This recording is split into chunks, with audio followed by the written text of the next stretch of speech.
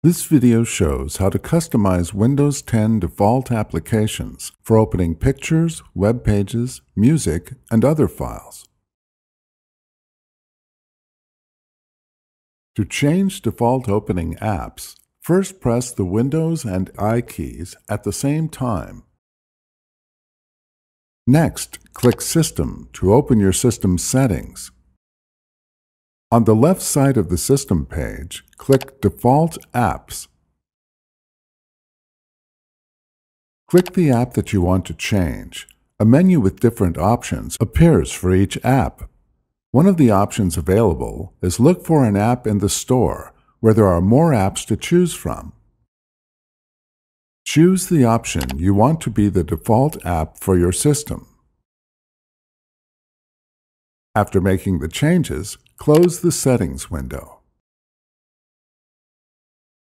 You can find additional helpful videos at hp.com forward slash support videos and on our YouTube channel, youtube.com forward slash how to for you.